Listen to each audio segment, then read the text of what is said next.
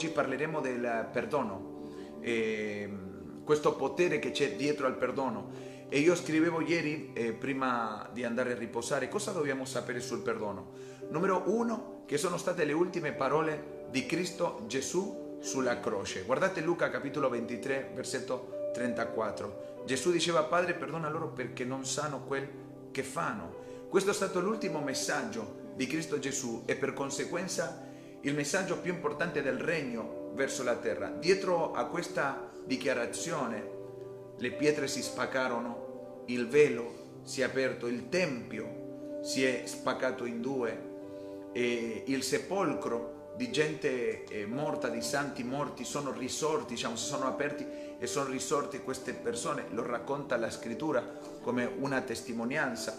Quindi c'è un, una grande potenza e una grande autorità nel perdonare, nel perdono. Però, eh, come stavamo ve- vedendo, è noto in questo tempo che stiamo vivendo uno, una delle, eh, delle epidemie più grandi nel mondo riguardante alla mancanza di perdono oggi. Il problema di tutto questo fondamentalmente è che questa mancanza di perdono si è introdotta anche dentro alle nostre chiese, là dove doveva restare diciamo, eh, una, una porta aperta, là dove doveva uh, restare, eh, dovevamo essere noi la porta di benedizione per tante altre persone, oggi si combatte tanto, tanto, tanto con la mancanza di perdono all'interno delle nostre chiese. Matteo 6, 14, 15 dice perché se voi perdonate gli uomini, le, agli uomini le loro colpe, il Padre vostro vi perdonerà anche a voi. E noi dobbiamo sapere che padre significa pater, cioè significa orizzonte, significa identità. E in questo caso il regno dei cieli, Cristo Gesù, lascia in chiaro che il cuore del Padre è un cuore che perdona.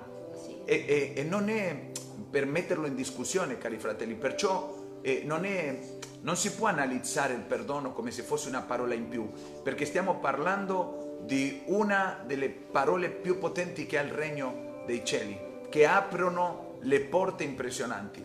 E quindi il diavolo che farà? Verrà a rubare queste, queste porte, queste chiavi. Lui vuole prendersi le chiavi del regno. Cristo Gesù gli dice a Pietro, io ti darò a te le chiavi del regno.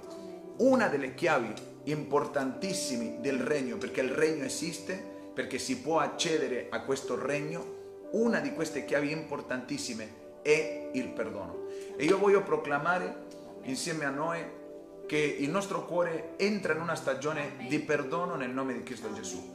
Tutti i nostri fratelli che stanno guardando oggi qui, noi decretiamo, Signore, sulla vita loro che avranno autorità per poter prendersi questa chiave, Signore, che è una chiave importantissima, se non la chiave fondamento del regno dei cieli nel nome di Cristo Gesù.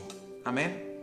Dobbiamo sapere che senza il perdono non possiamo ottenere la grazia e il favore di Dio. Padre, perdona loro perché dice così come noi perdoniamo a loro le colpe, perdona le nostre colpe. Non possiamo ottenere la grazia il favore di Dio, il perdono di Dio, senza rilasciare il perdono. Come posso, pastore, perdonare? C'è una, una risposta immediata, semplice, non meditando più nel rancore che c'è contro questa persona, non, medit- non, di- non facendo diventare questa situazione eh, il, il, nostro modello di pensiero, il nostro, eh, la nostra eh, eh, eh il, bravo, il, nostro continuo. Il favore di Dio è reale. Attraverso la storia però poche persone si sono trovati a questo favore e oggi, ancora oggi pochi raggiungono sull'umanità, cioè questo, questo dono che Dio ci ha dato di avere il suo favore, la sua benedizione anche se questo è stato un regalo per tutta l'umanità. Guardate che cosa dice qua. Perdona a loro perché non sanno quel che fanno. Che cosa è quel che fanno? Quel che fanno. Ma che cosa è quel che fanno? Scrivevo io ieri.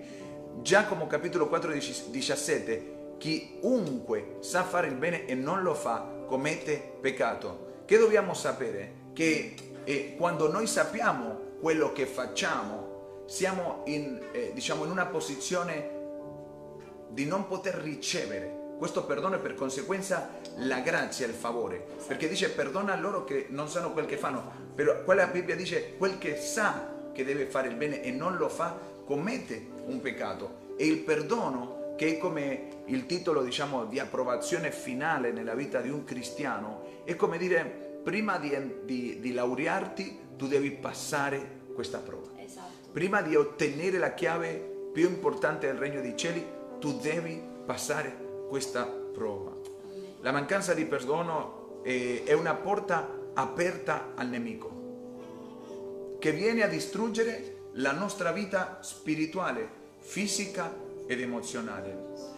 Cosa significa non perdonare? Ad esempio castigare la persona con pensieri di rancore e di vendetta. Questo consuma il cuore fierito e lo riempie di amarezza e dobbiamo sapere che il nostro cuore non è stato creato per odiare, ma per perdonare. Infatti in Proverbio è scritto proteggi il tuo cuore più di ogni altra cosa perché da esso emana la vita.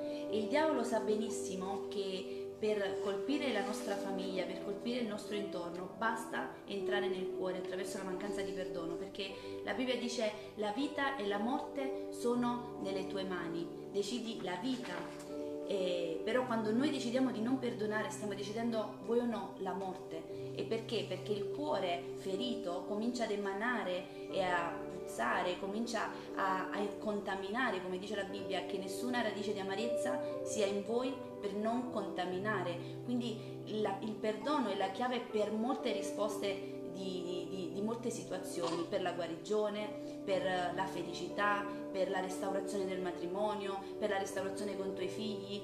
Il perdono è la chiave a molte risposte di molte persone che sento che qui stanno aspettando che Dio operi nella vostra vita e la chiave del perdono è la chiave della vostra guarigione, la chiave di quel figlio che si è perso, è la chiave della restaurazione del matrimonio, è la chiave per la tua felicità.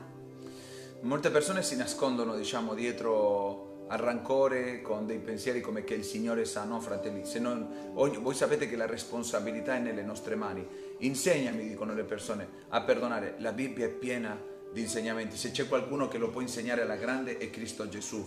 Però poca gente si vuole accostare alla scrittura nel tempo di lettura non per impararla, e sentirmi compiaciuto di che l'ho letta, mi sono imparato un altro versetto, se non per viverla e per chiedere allo Spirito Santo che ci possa rinnovare. Amen? E, ehm, allora, eh, cosa significa perdonare? Cancellare il debito pendiente contro la persona, pendiente si può dire così, il, il debito uh, rimasto, diciamo, contro la persona in sospeso. in sospeso contro la persona e prendere una decisione di togliere i debiti con un atto volontario che non sia fondamentato sulle emozioni ma su una convinzione. Quanti diciamo amen? Il perdono però è un mandato del Signore. Cosa sappiamo del perdono? Che è un mandato del Signore. Matteo 6,12 dice rimettici i nostri debiti così come noi abbiamo rimesso i nostri debiti ai nostri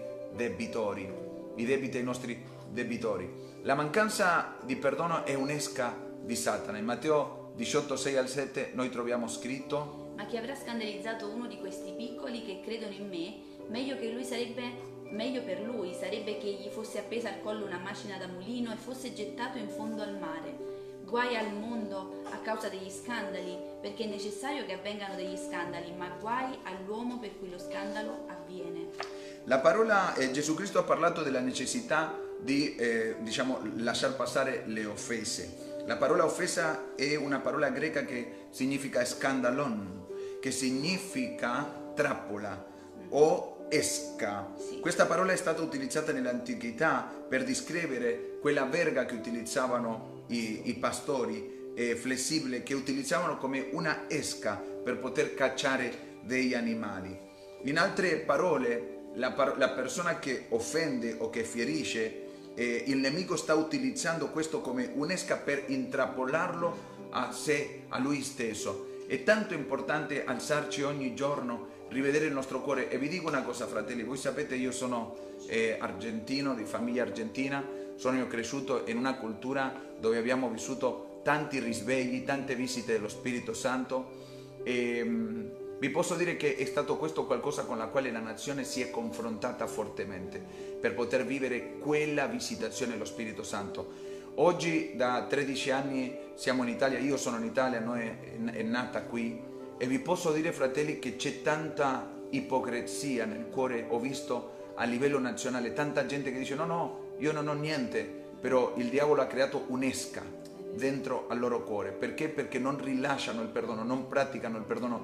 Mi ricordo molto bene quando sono arrivato qui, avevo i capelli, avevo tante cose quando sono arrivato qui e il Signore mi parlò e mi dice proteggi il tuo cuore, perché qui il dominatore, e ci sono due dominatori numero uno il, eh, l'ipocrisia, diciamo, intendo dire non perché la gente sia ipocrita, sino perché nasconde la verità per non confrontarla e l'altro era spirito, la radice di amarezza che si mette facilmente. Io provengo, voi sapete, da una famiglia italiana, mia nonna è di Locri, mio nonno, mio padre, tutti sono nati qua, emigrati in Argentina, sono nato là in Argentina e posso dire di conoscere la cultura italiana e sempre c'è stato nel, il, il lamento, il non posso, il questo, il non mi basta, il questo. però io provengo, provengo da una nazione dove veramente la crisi è crisi, dove non ce n'era eh, letteralmente per mangiare, dove non ce n'era letteralmente per cambiare un vestito, dove il lavoro non ce n'era. Io, io, so che cosa significa e in Italia ce ne sono tante possibilità di poter crescere, però la gente utilizza il lamento come un modello di comunicazione perché dentro al cuore ci sono molte radici di amarezza. E non hanno chiuso queste porte, non si sono chiuse queste porte, diciamo, e con un'azione contraria per poterlo, adesso lo vedremo, come posso chiudere io queste, queste porte, diciamo queste radici di amarezza dentro al mio cuore. La conseguenza di non perdonare, il Signore non perdona le nostre offese, alcune conseguenze, diciamo, vedremo a non perdonare. Numero uno, Dio non perdona le nostre offese. In Marco 11, 25 al 26, e quando pregherai, perdona, e se hai qualcosa contro qualcun altro, eh, vai e perdonalo affinché tuo Padre che ti vede nel cielo possa perdonare a te anche le tue offese, perché se voi, se voi non perdonate, neanche vostro Padre che è nel cielo vi perdonerà le vostre offese. Quindi che produce la mancanza di perdono? Radice amarezza, ma nello stesso tempo chiude il cielo e non vengo ad essere io perdonato nella mia vita. Quindi è un esercizio continuo che però se non eh, si viene somministrato della parola del Signore in continuazione, io vi posso dire che è difficilissimo. Perché nella, nella natura proprio eh, della, della, natura eh, terri, del territorio nazionale in modo particolare c'è questa fortezza. Lui ha assegnato un demone che semini dentro al cuore amarezza e quindi non c'è mai questo essere soddisfatti, questa gioia, questo vivere la vita con gioia, sempre c'è un qualcosa, sempre ci sono pensieri nascosti. Mm? Il nemico numero due, che cosa, qual è la conseguenza? Non perdonare, il, il nemico prende vantaggio sulle nostre vite. E la mancanza di perdono è una porta aperta al nemico che distrugge la nostra casa, le nostre finanze, la nostra salute e distrugge anche tutti quelli che noi amiamo. In Matteo 18, 32 al 35 dice, allora chiamando il loro Signore eh, chiamò a questo signore e gli dice, servo malvagio, tu, io ti avevo perdonato il debito perché tu mi avevi pregato. Non dovevi anche tu avere misericordia del tuo conservo come io l'ho avuto di te? Allora il suo signore arrabbiato lo consegnò ai eh, verdugo, eh, ai, uh, diciamo questi che si mettono il cappuccio, eh, ai strozzini, agli strozzini, sì. sì, finché pagasse tutto il loro debito. Così anche il Padre Celeste farà con voi se non perdonate di tutto, con tutto il cuore ai vostri fratelli le vostre offese. E io dico, Signore, voglio iniziare una settimana con un cuore nuovo. Quanti diciamo amen? Cioè lo stiamo parlando perché è un tema, magari a tutti ci piace la gloria del nuovo tempo e quello che sta avvenendo, però fratelli, se e dobbiamo preparare la nostra vita come la sposa amata del Signore, che deve preparare il suo cuore per ricevere il, il Signore dei Signori. Allora questo è un argomento talmente importante eh, di preparare i nostri cuori, di sforzarci come sia sia senza dare sopravvento ai nostri pensieri, senza dare sopravvento alla nostra anima, ma confrontandola e dicendo no, no, no, io appartengo alla guarigione, io appartengo al perdono, a me Dio mi ha perdonato e mi ha rimesso i debiti, io perdonerò. Amen, amen. Io perdonerò. È, è importantissimo per effettuare un perdono completo nel nostro cuore essere sinceri con noi stessi perché mi sono trovata con molte persone al quale abbiamo, abbiamo ho parlato del perdono perché eh, personalmente io ehm, il Signore mi ha dato questa chiave a me per poter liberarmi, per liberare la mia anima e tante problematiche che stavo vivendo che era tutta a radice di questa amarezza che, ero, che avevo nel mio cuore. E, e, io ho chiesto al Signore, Signore, come faccio a, completare questo perdono? Eh, perché io avevo preso la decisione, ogni giorno andavo davanti a Dio e dicevo, io decido perdonare, Signore, io perdono. È importante essere sinceri, in che senso? Non, eh, um, non illuderti, se no non convincerti che quella decisione che hai preso è perdo- hai perdonato.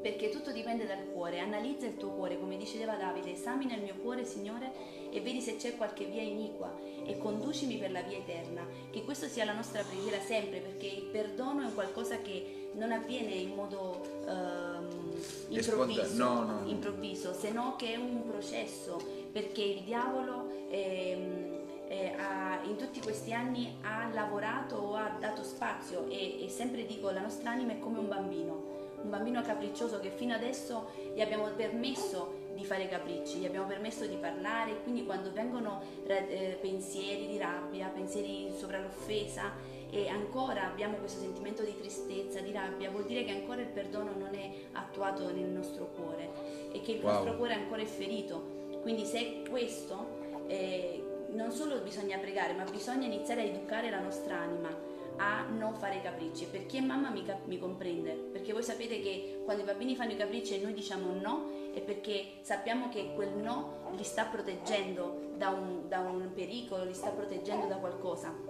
E lo stesso deve succedere con noi, quindi se voi mi state chiedendo, ok sì sì, io, io capisco il perdono, teoricamente lo conosco, ma praticamente io voglio dirti che tu eh, per effettuare questo perdono completo devi iniziare a educare la tua anima e mm. dire no. Quindi quando vengono pensieri di rabbia, quando vengono pensieri sul, su, uh, di offesa, uh, di tristezza, devi dire no anima. E come dice il Salmo, anima mia spera, spera nel Signore.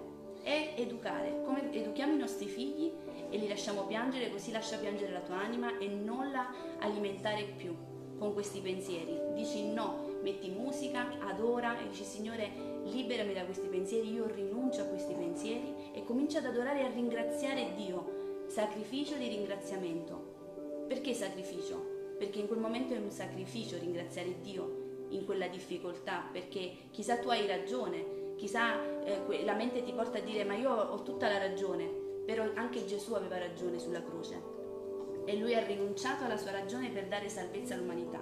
Quindi se tu rinunci alla tua ragione, troverai, Dio ti darà la felicità che tu stai cercando. Qualcosa di importante qui è capire le conseguenze. Perché uno cura la macchina? Perché ci sono conseguenze. Ad esempio, io ho fatto il cambio cinga distribuzione. Anche se la macchina non presentava usura, ti danno un consiglio e ti dicono entro tanti chilometri tu fai questo cambio perché non si sa, può andare tutta la vita, come può in un minuto distruggere il motore intero. Per chi non sa, un cambio di questo elemento può costare 300 euro, che sono soldi, però se uno non cambia, se uno non prende posizione su questo, la riparazione completa del motore può costare oltre 3.000. Quindi vedete quanto sia importante capire le conseguenze che ci possono essere nella nostra vita quando noi non ripariamo urgentemente. Qua la Bibbia dice che Dio non perdona le nostre offese. Una conseguenza. No. Numero due, il nemico prende vantaggio nella nostra vita. Numero tre, le nostre preghiere sono ostacolate, secondo quello che dice prima Giovanni capitolo 3, 14, 16. Noi sappiamo che siamo passati dalla vita alla morte e che amiamo perché amiamo eh, ai fratelli. Quel che non ama il suo fratello rimane nella morte. tutti coloro che eh, aborrecer, che odiano suo fratello sono omi- omicidi e sapete che nessun omicida ha la vita eterna o potrà rimanere in lui la vita eterna. In questo abbiamo conosciuto il Signore, in che Lui ha, messo, ha, dato la sua vita per noi, così anche noi dobbiamo dare la nostra vita per i nostri fratelli. Wow. Voglio leggervi eh, cosa significa la parola strozzino, perché qui le, la Bibbia dice chiaramente in Matteo 18 che Dio ci consegnerà gli strozzini. Dio. Un'altra conseguenza alla mancanza di perdono è che Dio ci mette nelle mani degli strozzini. La parola strozzino significa chi porta tormento. Tormentatore si può dire così? Tormentatore. La mancanza di perdono è uno dei maggiori um, odori, se vogliamo chiamare, che attirano i demoni. Quando c'è mancanza di perdono, quando c'è radice amarezza, questo è il regno degli inferi lo attira fortemente sulla vita della persona. Loro utilizzano le offese che tu hai ricevuto, che io ho ricevuto, per ricordarcela in ogni momento. In questo modo il, il, il sentimento di amarezza cresce dentro al nostro cuore e non ci permette avvicinarci a Dio e fluire nella sua benedizione. Questo comporta anche un tipo di tortura nella nostra vita o della vita della persona che non ha perdonato. Nell'idioma greco la parola, come vi dicevo, strozzino significa tormentare, tormentare. E, e, e, e ovviamente la Bibbia dice chiaramente tormentare dai demoni.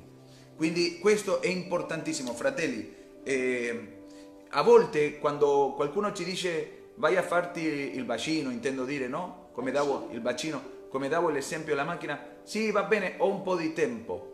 Però se una persona ti dice non te lo fai e muori, ok, qua succede esattamente lo stesso.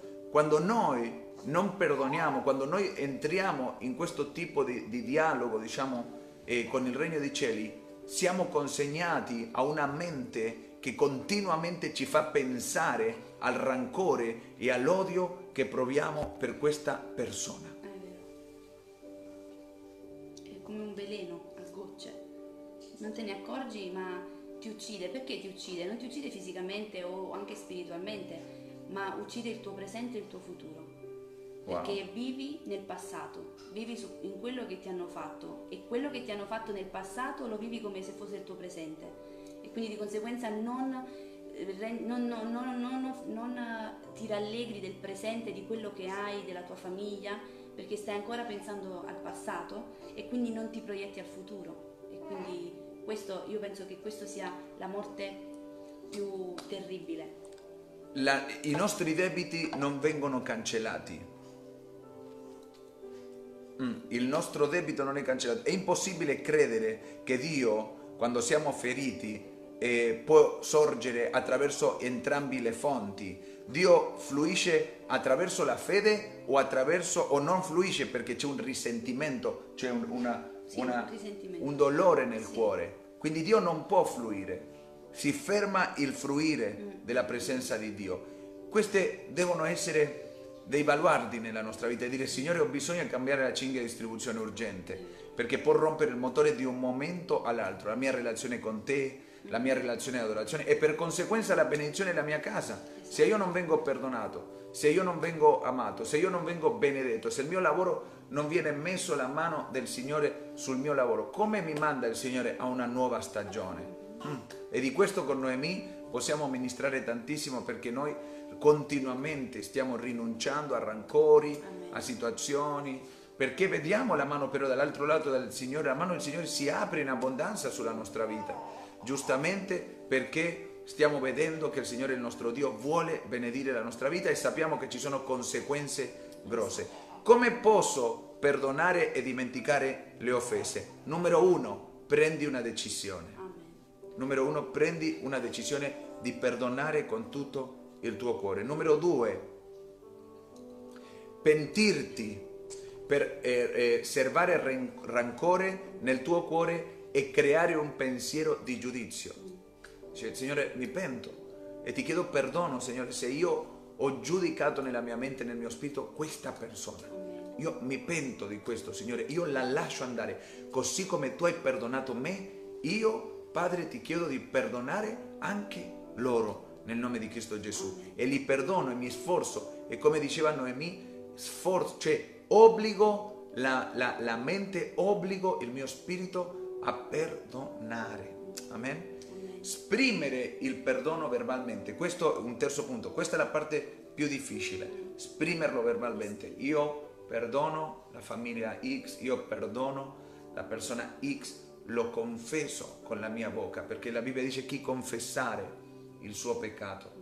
Amen? Quindi anche man- la mancanza di perdono è una forma di peccato nella nostra vita. Dice in Giacomo capitolo 5, 16, confessatevi le vostre offese gli uni agli altri e pregate gli uni per gli altri affinché siate guariti.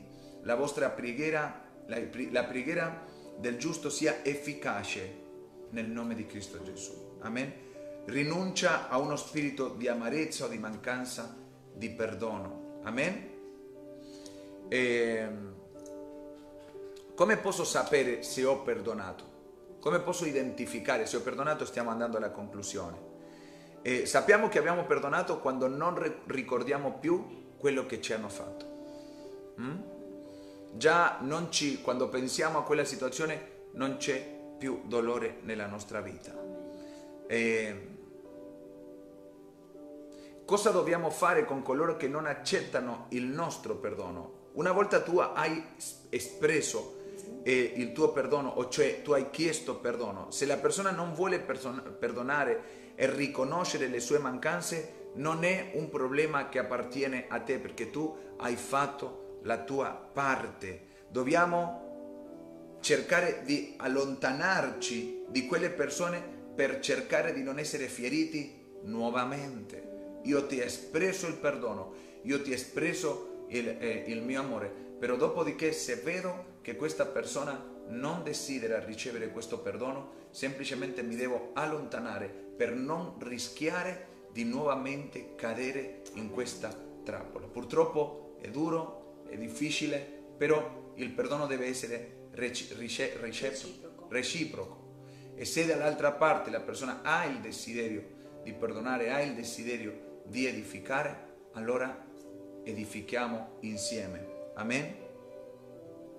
Cosa devo fare con coloro che mi offendono continuamente? Dobbiamo perdonare ad ogni persona, ogni, eh, ogni qualvolta sia necessario. Gesù lo ha detto chiaramente. Quante volte perdonerò a colui che mi ha offeso? In Matteo capitolo 18, versetto 21 al 22. Sette volte dice Pietro, no, io ti dico 70 volte sette, ogni giorno. Però, ripeto, è molto importante allontanarci quell'intorno quando già abbiamo adempiuto, diciamo, questo, questo atto di perdonare. Questo è importante. Sì. Eh, perché a volte uno no, voglio insistere perché io ti ho perdonato, però se la persona non ha attuato questo perdono nei tuoi confronti, tu riceverai un'altra offesa e magari arriverà il momento dove la persona stessa verrà e ti dirà ti voglio chiedere io perdono perché ti ho offeso in questo momento, in quell'altro momento. Fratelli, la Bibbia dice che tutti offendiamo. Dice chi, è, chi può trattenere la propria lingua, chi non ha offeso, dice la Bibbia, con la lingua è un uomo che può dominare, dominare tutto.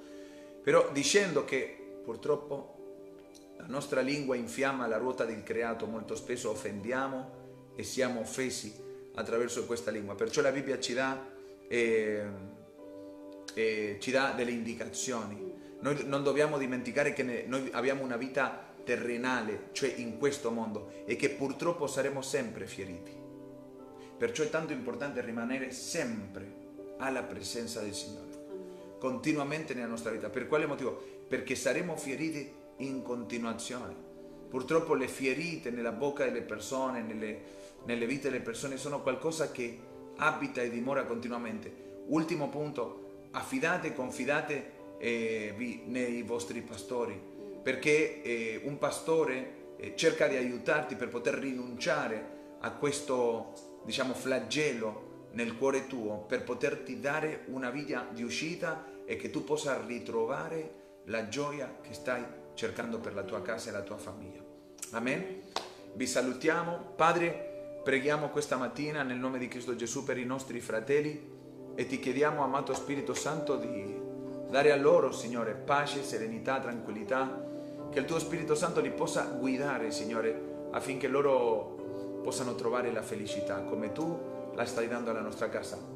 Io ti ringrazio, Padre Eterno. Grazie. Grazie per come tu ci proteggi. Grazie per come tu ci guardi.